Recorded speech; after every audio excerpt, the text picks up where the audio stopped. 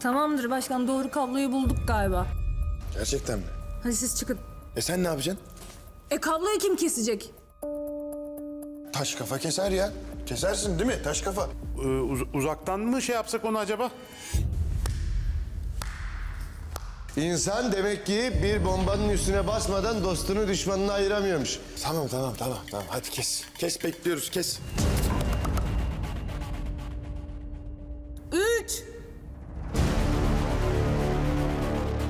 İki. Bir. Kes. Tim.